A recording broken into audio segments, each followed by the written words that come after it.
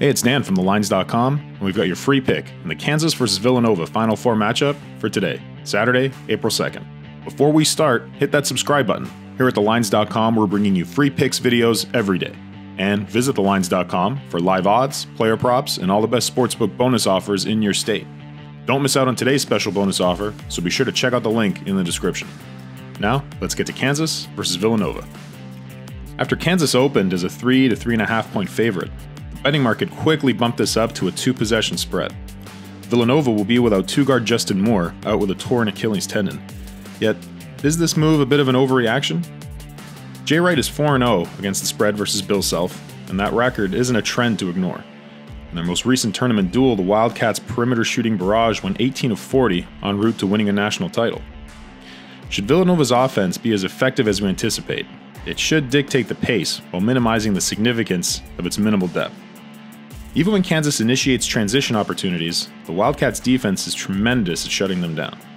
So let's focus on Self's half court action. Wright's scheme is oriented to switch everything on ball screens. That could put Gillespie, who's an inferior defender overall, in a heap of trouble versus the Jayhawks' athleticism. He'll be tasked with guarding the quick twitch Remy Martin as well. Nevertheless, Villanova's defensive structure is sound at denying clean pick and roll attempts at the rim, along with forcing difficult shots against isolation sets.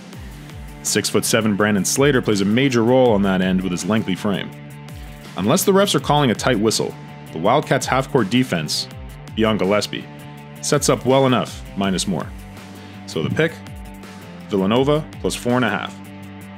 From a numbers perspective, we make the Jayhawks a two point favorite even without Moore expect the Wildcats to at least stay within two possessions.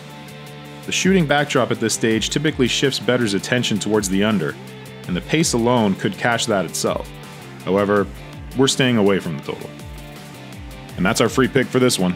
We got plenty more free picks for today's games right here.